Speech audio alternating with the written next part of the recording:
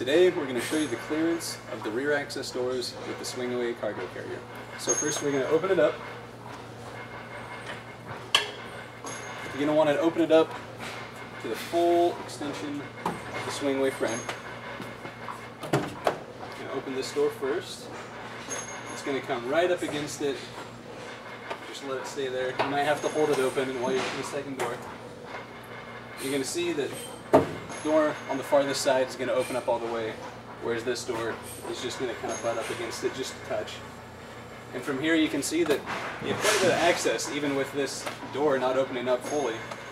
You can load boxes, you know, unload boxes, a lot of room to work. And that's the swing-away frame.